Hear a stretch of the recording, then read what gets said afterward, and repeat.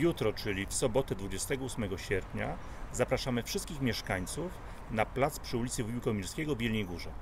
Odbędzie się tam 19. wystawa produktów regionalnych wyprodukowano pod Śnieżką.